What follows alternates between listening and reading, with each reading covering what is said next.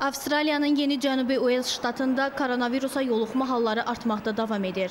Yerli icra orqanları epidemioloji vəziyyətin ağırlaşması ilə əlaqədar ştatda sərtləşdirilmiş karantin rejimini daha bir ay müddətinə uzadıb. Bundan əlavə, ştatın bəzi yerlərində əlavə sanitar tədbirlər görülüb.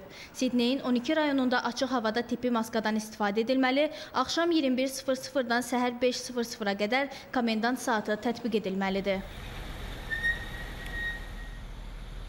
Yeni Zelandiyada isə avqustun 17-sində 3 gün müddətinə tətbiq edilmiş karantin rejimi daha 5 gün uzadılıb. Bu müddət ərzində bütün müəssisələr bağlı qalacaq. İctimai tədbirlərin keçirilməsinə qadağa qoyulacaq. Məktəb və universitetlər isə distant təhsilə keçəcək. Sakinlərə evdə qalmaq, küçəyə çıxdıqda isə 2 metr sosial məsafəyə riayət etmək və tibbi maskadan istifadə etmək tövsiyə edilib.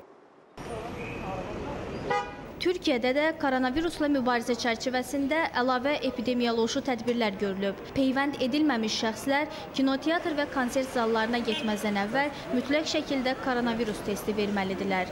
Sentyabrın 6-sından etibarən isə peyvənd olunmamış şagirdlər və müəllimlər həftədə 2 dəfə test olunmalıdırlar. Xavər Əliyeva, Ləman Təmirzadə, xəbərlər.